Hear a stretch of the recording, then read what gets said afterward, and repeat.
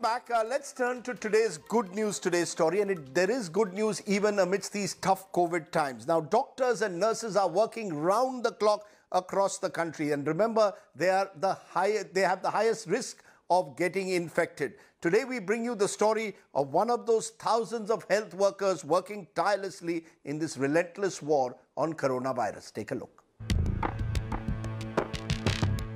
You have heard of shortages in the fight against COVID. Shortage of remdesivir needed for treatment, shortage of hospital beds, and shortage of oxygen. Even in the face of such adversities, healthcare professionals are not losing hope. Many are going beyond the call of duty. Like Dr. R.B. Kamal, the principal of the GSVM College in Kanpur. Recently, he tested positive for COVID 19 and isolated himself at his home.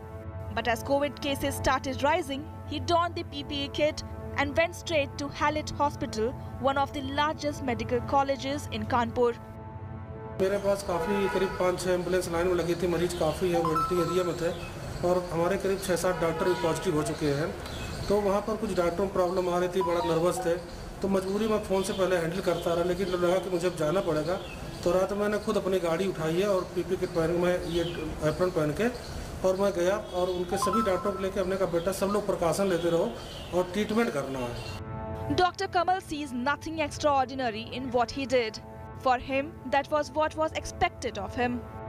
But for us, he and the thousands of health workers fighting the relentless war on coronavirus are superheroes. With Ranjay Singh, Bureau Report, India Today. Hello everyone, this is Rahul Kamal here. Hope you enjoyed this video.